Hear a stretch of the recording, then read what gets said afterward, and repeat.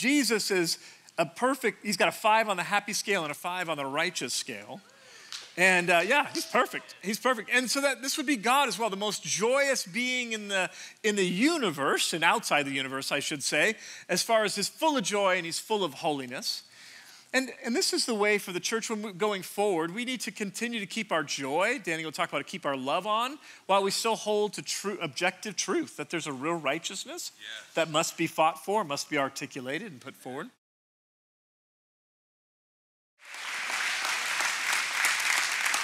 Hey, everybody, how are you doing? Beautiful. I'm, I'm Dann. I'm the lead pastor here at Bethel Church, and it's good to see all of you, online family. Great to have you with us as well. We have a fabulous Holy Week coming up, and you heard about in the church news. Just real quickly, uh, if you, if you got a chance to come and pray in this room from 7:30 to 8:30 during the fast, it was a beautiful time. There's like 350 to 400 of us in here standing room only. So we thought, uh, and many of you said, "Can we keep doing this?" And we couldn't, but we can do it again. we can do it again. So, um, love for you to come that Monday through Friday and just celebrate with us. 7.30 to 8.30 in here and then our worship rooms will be ministering in here from 8 to 9 you can just steal away. We're trying to create space and for you to you know come and just be with the people of god and together just contemplate the glorious nature of christ's death and resurrection and his sacrifice on our behalf. And so um, welcome and would love for you guys to come. And as mentioned, if you got uh, if you if you don't have kids, maybe come to that eight o'clock service uh, for on Good Friday, and then let's have the, maybe the, the kids at the uh, at the four and the six o'clock service. We'd love for you, guys to come in during Good Friday. Next Sunday is Palm Sunday. This Sunday I often forget about, but we're not forgetting about this time. um, Palm Sunday's always struck me weird as a kid because even somewhere, and I'm talking kid, 11, 12, 13, it was weird because the people would be super happy and celebrating. But even as like a, I don't know, 12, 11, 13 year old, I thought, aren't these the same people that shouted, crucify him about four days later? And so there's always been this little moment of dissonance for Palm Sunday for me where kind of the human heart is revealed. Where you're like, we are, we receive you, we see you, and just so you know that Palm Sunday is this idea Jesus rode a donkey into Jerusalem, and Jerusalem kind of received him as their Messiah and as their king. They understood the, the messianic implications of the prophetic signs that were going on. And so that's on Sunday. They're so excited. But then by Thursday and by Friday night, when, when Pilate says, Who would you have me release to you? Jesus or Barabbas, the crowd shouts, Give us Barabbas, give us Barabbas. And just that, the duplicity of the human heart, you know we are with you on Sunday. By you know, five days later, like, give us the criminal, give us the other guy. Palm Sunday, so it's a day of that triumphal entry, and yet, even there, it's that bittersweet walk to the cross that starts on, on that day.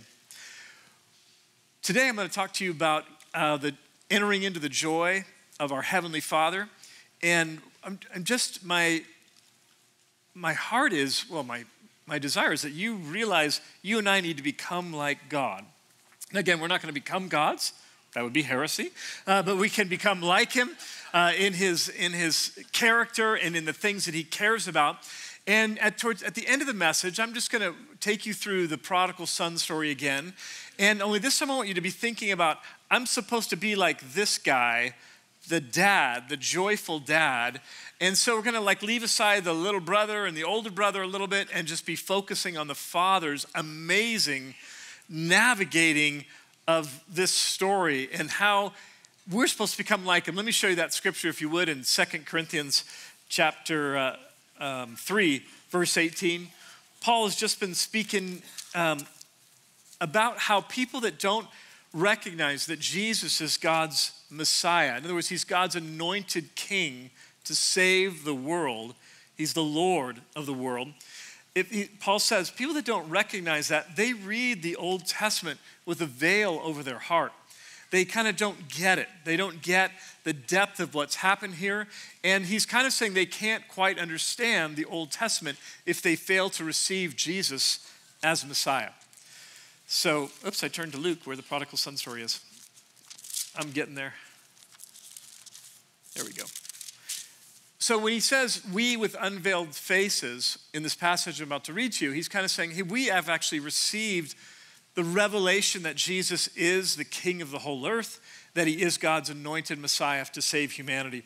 And so in verse 18, he starts, and we who with unveiled faces, that's us who have received Christ, we with unveiled faces all reflect or contemplate, could be either word, the Lord's glory, and are being transformed into his likeness with ever increasing glory, which comes from the Lord who is Spirit.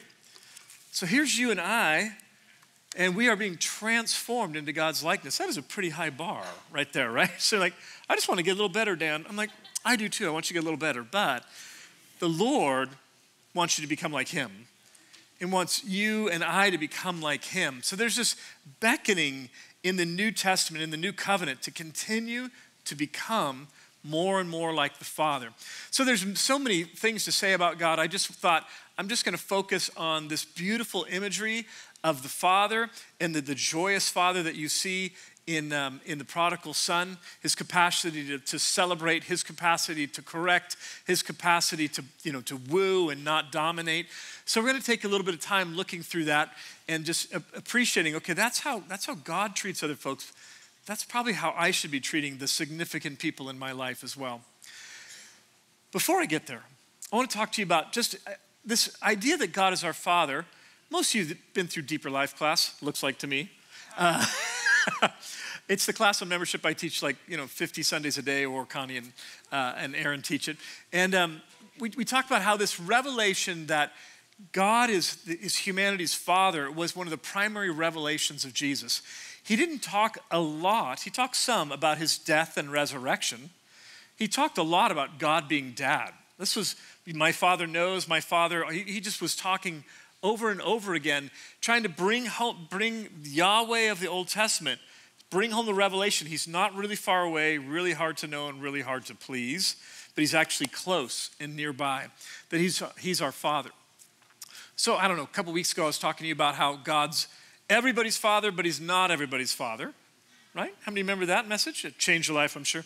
The. Uh, And it's that provocative thing in scripture that, like, it says he's everybody's dad, clearly, and yet it says he's not everybody's dad in other ways. And I just briefly want to just uh, review that with you that scripture teaches that God's everybody's father in the sense that we, we get our identity from him. Our origin is from him. We are made in his image. So that's absolutely intact. Believer and not believer, made in his image. The second part is that God has an attentive sort of love. It, that beautiful scripture says, I know the numbers of hairs on your head, and, um, and, and that I know what you need before you ask it. Is both the believers and unbelievers just talking about how God hasn't forgotten anybody, but is attentive to them? And then he's everybody's dad in the sense that he is given grace to respond to the call to come home. That scripture uh, says, where sin abounds, God's grace abounds even more. His undeserved love and his power to transform abounds even more. So he's everybody's dad in identity, in his attentiveness and affection, his love, in the, that he gives everyone grace to come home. And then also, and this is clearly in the story of the prodigal son, he's everybody's dad in the sense he wants all the kids to come home. And as we read that story, we get this idea that God is longing for the runaways to come home. He's longing for the rebels to come home. So he's everybody's dad in that section, in that sense. But scripture says not everybody's dad in another sense. And we talked about scriptures that to those who believe and receive, he's given the right to be called children of God. And that through, we actually get this right through trusting in him. And we talked about the three things. So, in addition to the four things I mentioned, those of us who have trusted him as our Father, um, have said, I want to receive new life in Christ through his death and resurrection, we get, the, we get the bonuses of intimacy with God. We actually know he's dad and we can talk to him like he's dad. Hey, dad, this really hurt. This confused me. Dad, this didn't work out the way I want to. Dad, I broke this thing. Could you help me fix it? I, I, broke this relationship. Can you help me? Can you help me? So we get intimacy with the Lord, and that intimacy looks like ongoing help and conversation. It also looks like I know who to be grateful to. I know when a blessing comes my way, I actually know this blessing came from you. Um, so, so that's part of this, what we get in our intimacy, this dependence we have on the Lord, where we get to go to Him and stay dependent. I'll talk more about that in just a, a little bit.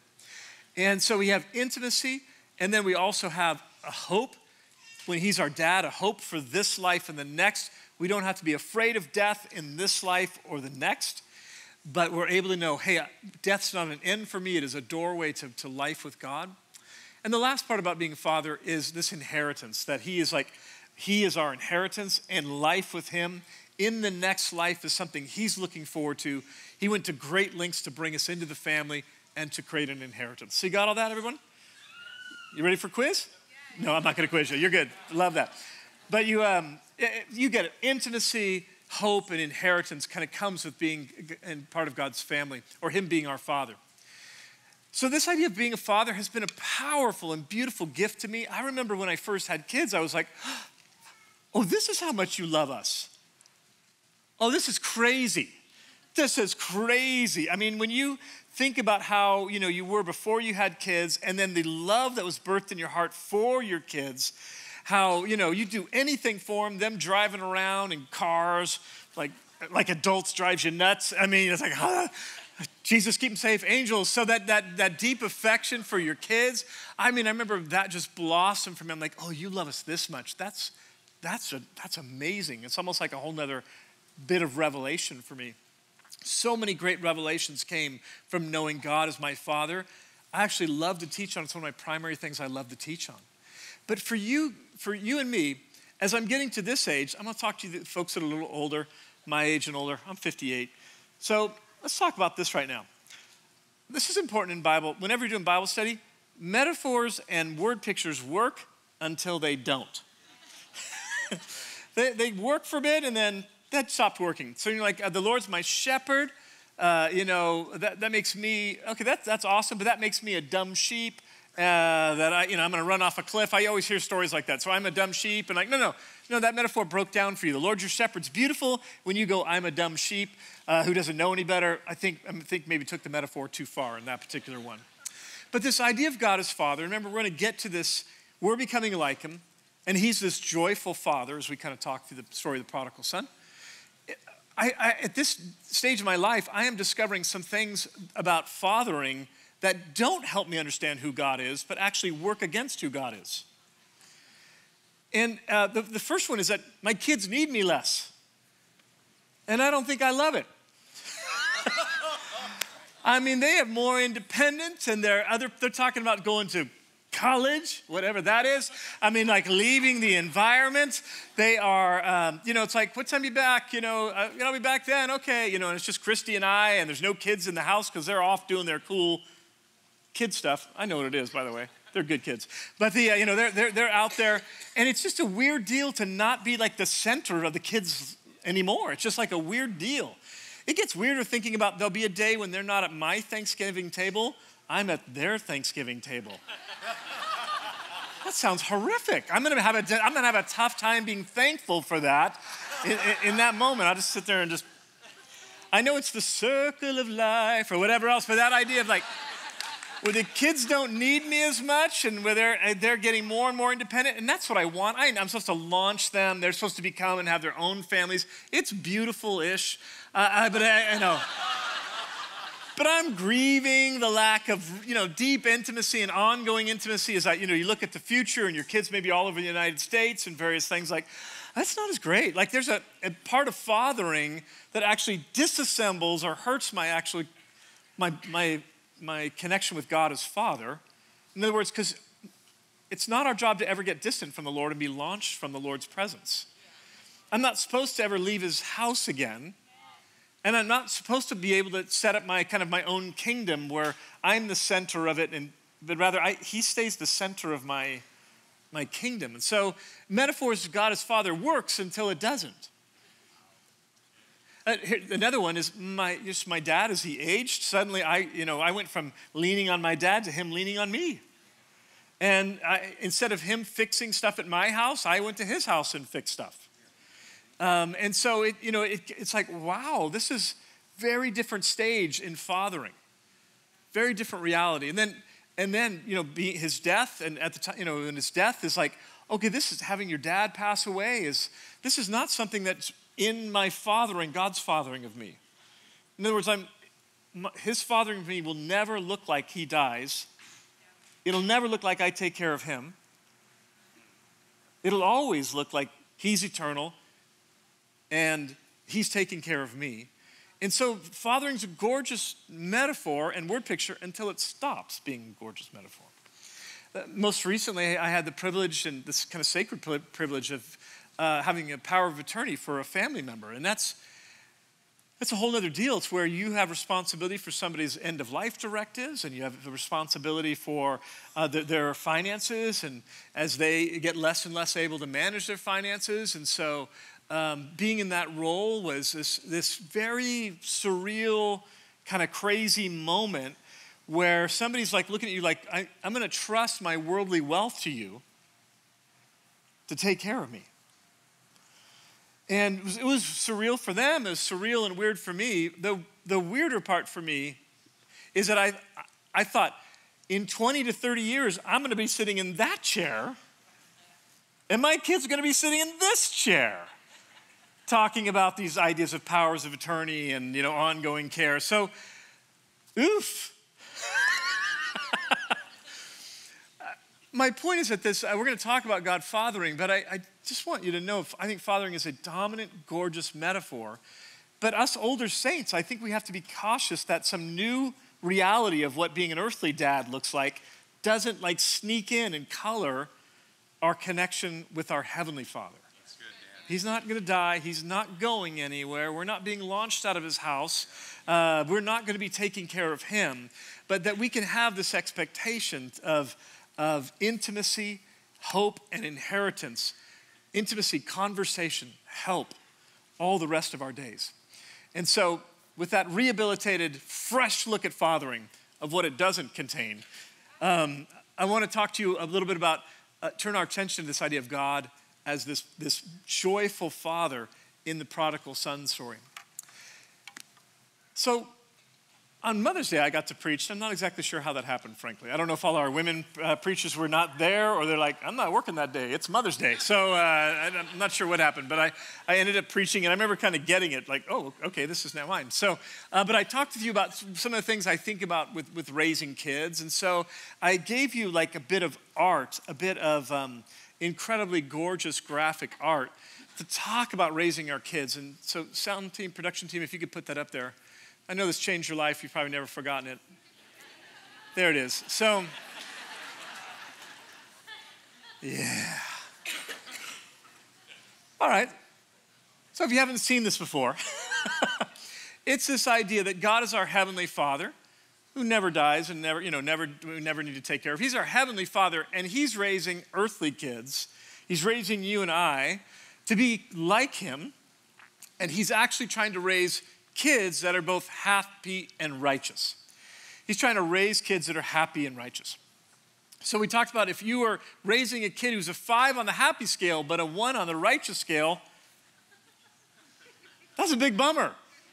That's a, that's a big old bummer that you, you know, it's like with me, my kid is super self absorbed. His own happiness is the center of the universe for him. And so if he's got no righteousness but high happy, we're, we're heading to like pathological unhealth right there at that particular point. At least not a good solid citizen or a good solid husband or wife at that point.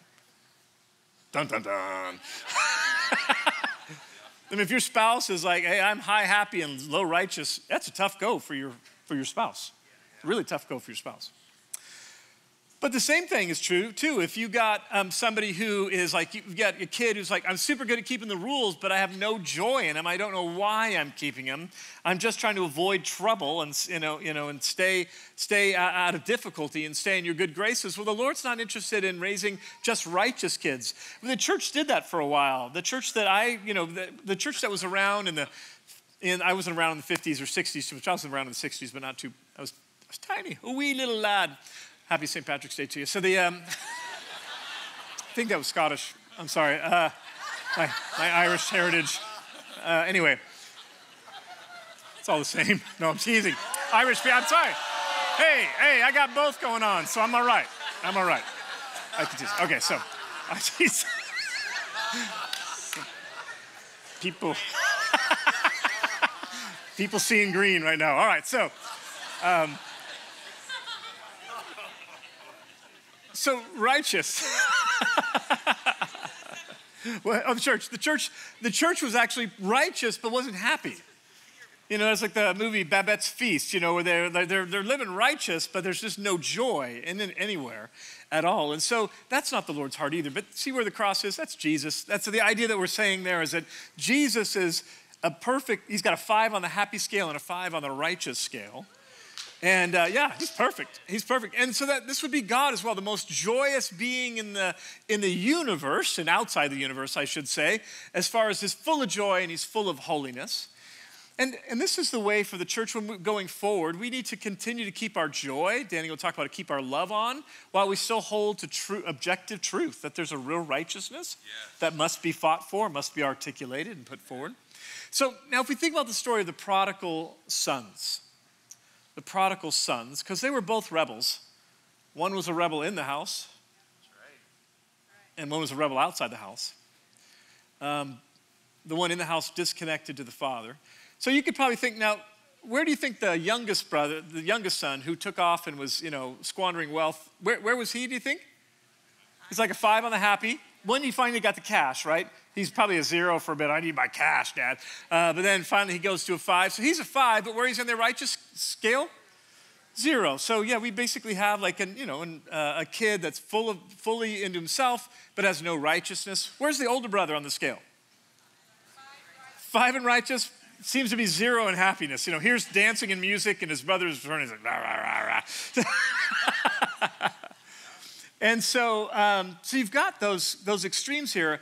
And then I think you've got the father, who I think the father in the story is amazing navigating this relationship where he's a five on the, on the happy, happy and joyful scale and a five on the righteous scale while navigating these two broken sons. And you and I are supposed to become not like one of the sons, but like the father in the story. So we're supposed to be heading towards that being conformed to the image of Christ and being transformed into his likeness, where both joy and responsibility, uh, happy and holy, are kind of marking us.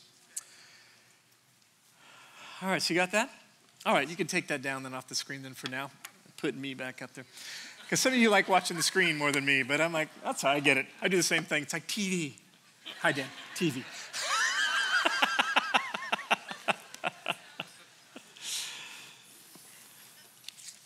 So I'm going to read you the story because I, I, I, sometimes assume everybody knows the story, but it's one of the most beautiful parables of Jesus when he's trying to you know, articulate who God is to the lost and again, I think the dominant way to read the parable is am I the, am I the younger son or am I the older brother? That is the way that I think Jesus originally and mostly meant the parable to be read. Um, but I'm actually asking you to read it thinking, watch the dad, watch him in. Uh, there's some places where it's just kind of silent about what he does, uh, but, it, but watch how he responds to situation after situation. Because this place of being um, happy and holy to being joyful and righteousness is, is, I think, the state where that's, that's who God is and that's where we're becoming. Partly I'm thinking about this thing because I was reading um, a leadership book, and the, the leadership book asked the question, like, how quickly do you return to joy after a setback? And I was like, I didn't know I was supposed to return to joy. after that's a very interesting idea. I think it was Marcus Warner in his book, I think that's his name, in his book, Rare Leadership. But how quickly do you return to joy? I'm like, oh, that, thank you. I don't even need the book now. I just have that idea. But, um, and so then I was thinking, well, how, what does joy look like? And then jo- the Father's joyful, and being in right relationship with the Father's joyful. So, so being rightly related to the Father is kind of my joy spot being rightly related to the Father is a place where I find joy, and being rightly related to other people is also a place where I, I, find joy. But that one with the Lord has to be there. So then thinking about how do I snap back into joy got me thinking about how do I how do I behave like God and become like God, be connected to God and become like God. So in this prodigal son story, I'm reading out of Luke chapter 15, verse 11. I'm reading out of the old school NIV, probably the 1985 edition or something like that. Uh, Jesus continued, There was a man who had two sons. The younger one hold on. Remember, you're reading for the father. Pay attention to the father in the story. Try to just pay less attention to the sons and all that sort of stuff. Look how the father responds.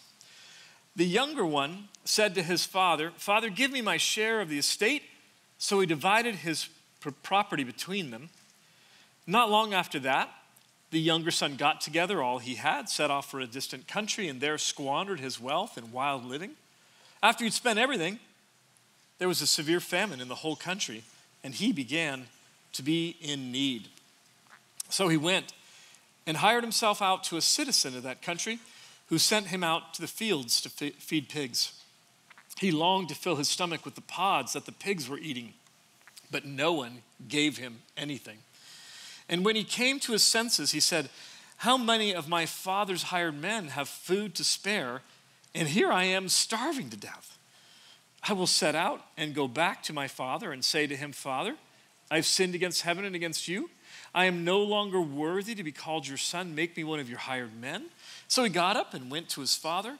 But while he was still a long way off, his father saw him and was filled with compassion for him.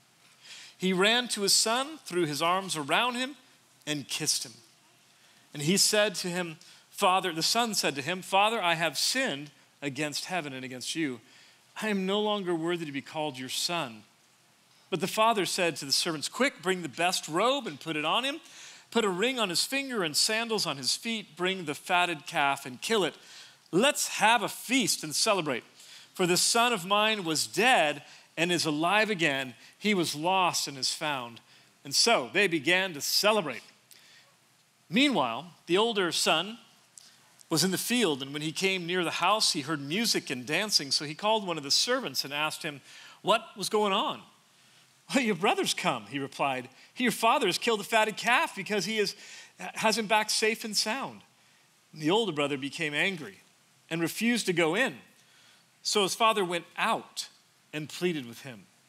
And he answered the father, Look, all these years I've been slaving for you and have never disobeyed your orders. Yet you never gave me even a young goat so I could celebrate with my friends. But when this son of yours, who has squandered your property with prostitutes, comes home, you kill the fatted calf and call for him.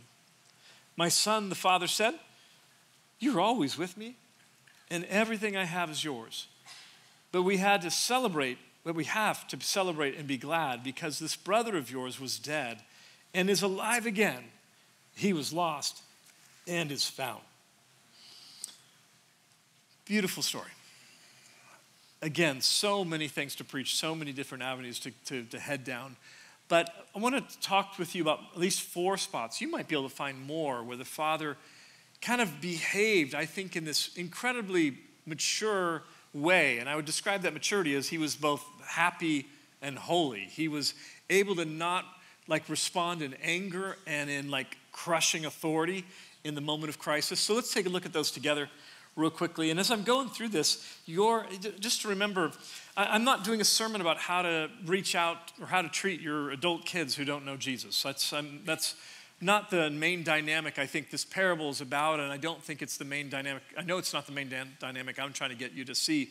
I'm trying to get you and I to aspire to this level of maturity when things are crazy and when things are good.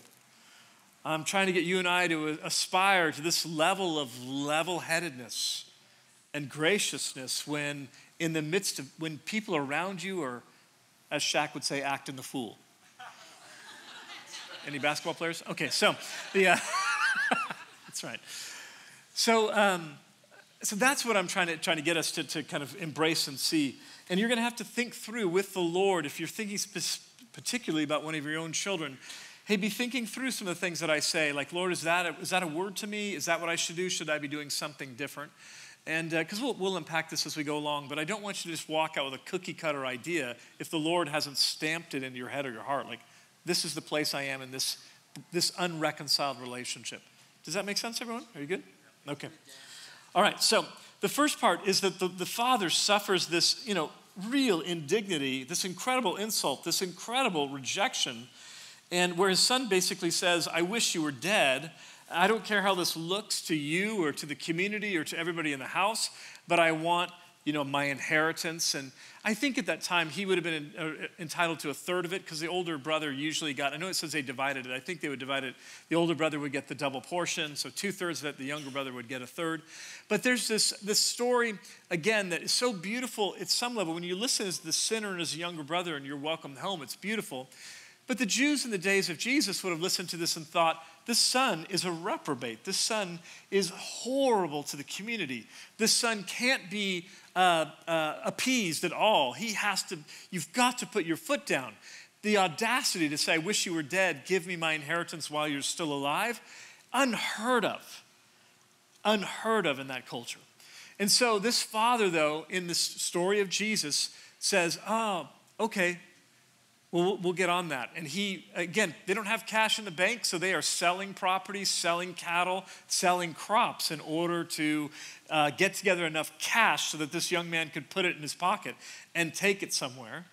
And so, I, if all the times you want to scream over my dead body are not going to happen, there's this incredible moment when this, the father lets the son have his choice without using kind of his rightful authority to put to say not going to happen.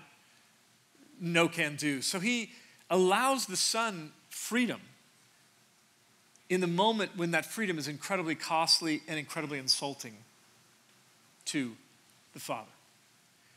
He, again, we don't see joy, but we don't see anger and explode and power and control in this moment. We actually see a willingness to meet his need and his request. And so, kind of the, the point here is the incredible, we're becoming like God God, Jesus says the Father's like this, and the Father in this parable actually meets this insult with graciousness. With graciousness. It's the same graciousness that the, the Lord Jesus has on the cross when he says, Father, forgive them, they don't know what they're doing. And they were the same, you know, many of them the same people who were shouting his triumphal entry just five days earlier. That graciousness, that heals a rebel's heart, or at least forgives a rebel, uh, whether or not they come home. So there's another part of God's maturity. If we're going to become like Him, this joyous fathering that we see, we see it in His mature waiting, that He waits for the, the um, younger son to come home. It's interesting when you read the parable that in the, it's, a, it's part of a three string, um, three parables in a line. And the first one is about the woman, a woman tearing the house apart to find a coin, one of 10 coins she's lost.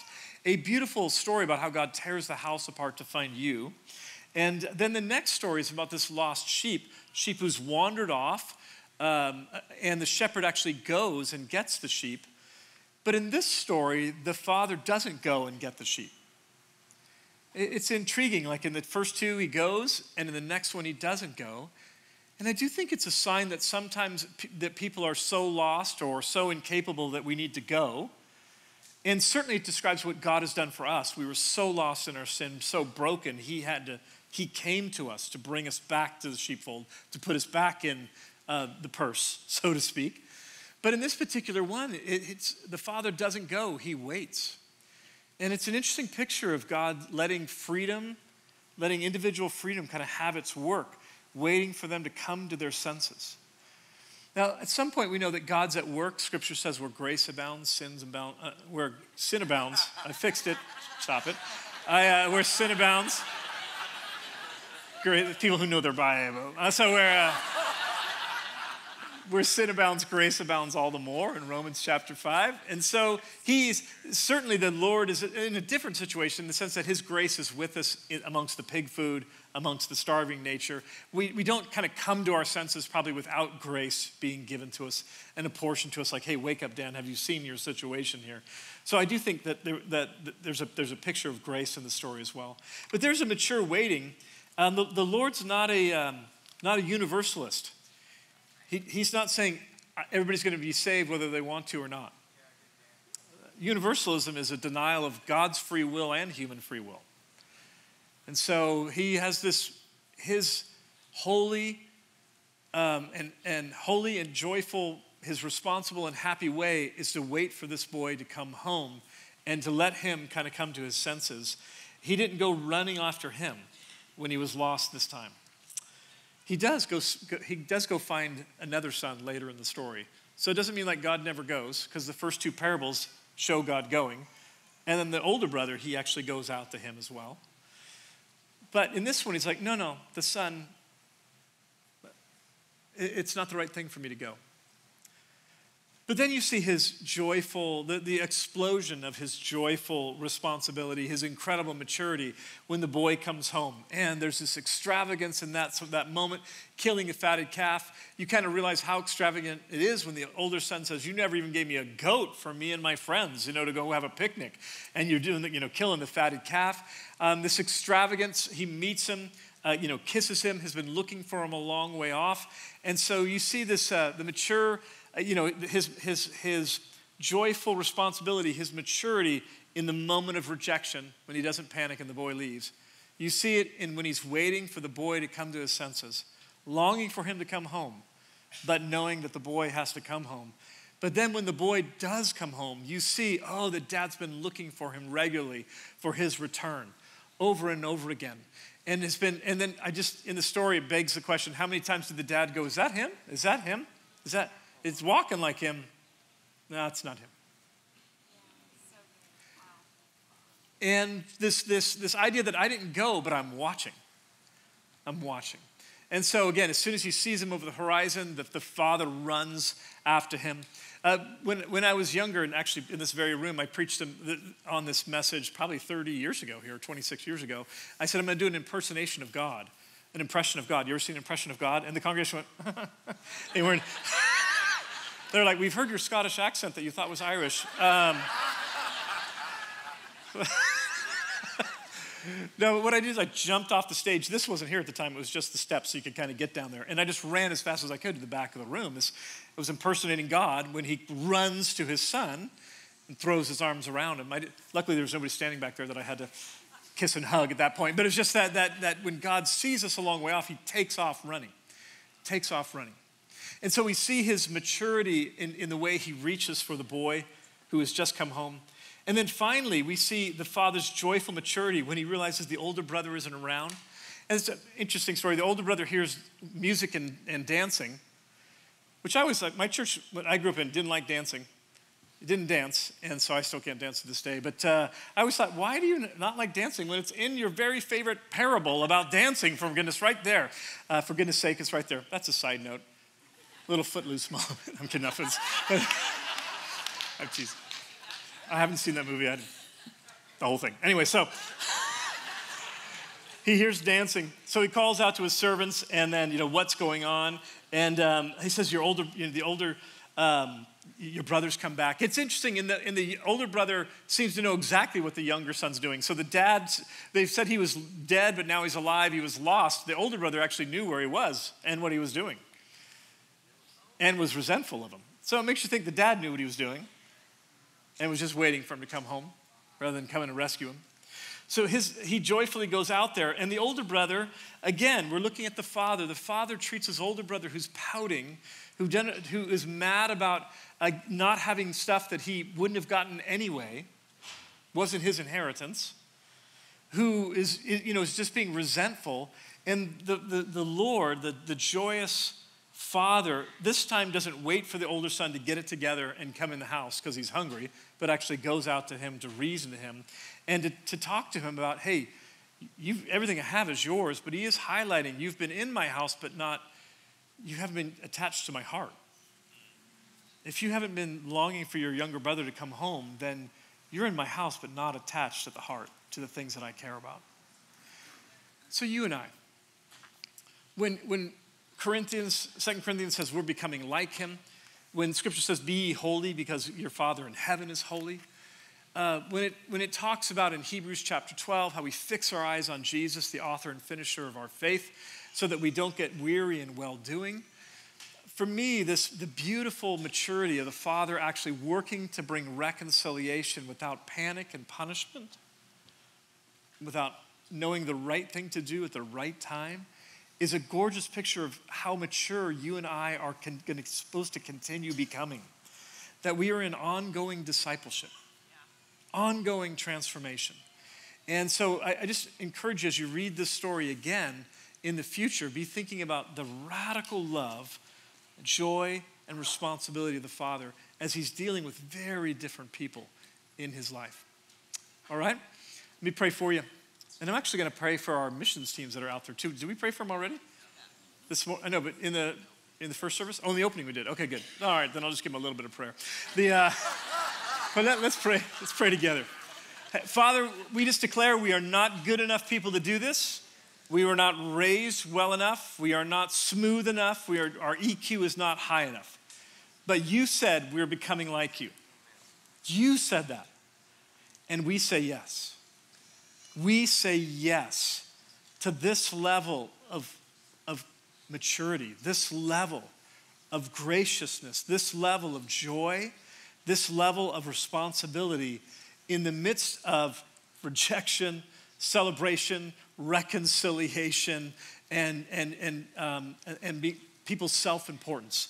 We ask that it would be just another facet of how the world comes home to you, Heavenly Father, because they see in us, they see in us a glimmer of who you are and how you treat people.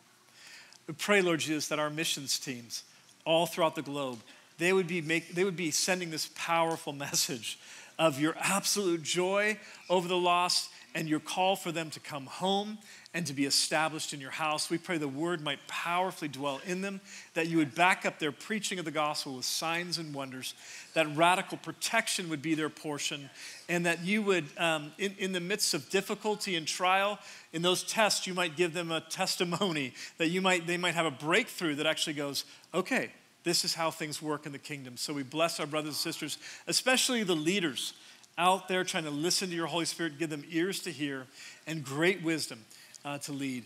In Jesus' name, amen. Bless you guys. Great being with you.